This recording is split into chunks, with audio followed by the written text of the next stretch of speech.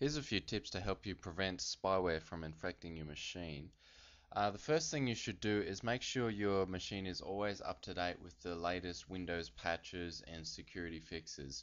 Uh, a lot of people will, like when a new fix is released, they will actually release a um, spyware application to take advantage of that release, and they're purely counting on the number of people that haven't actually upgraded to Microsoft's new release yet.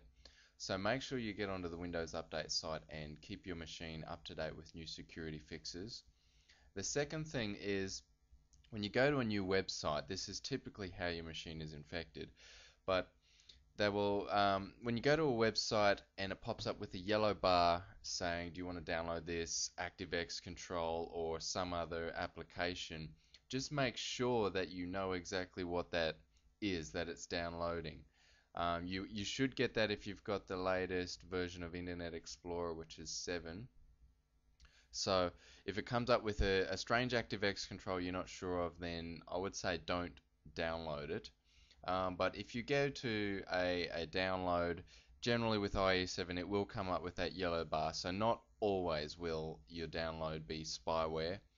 Um, now Spyware can be, you can get simple tracking cookies as well, and there's no way to really stop those unless you turn off cookies.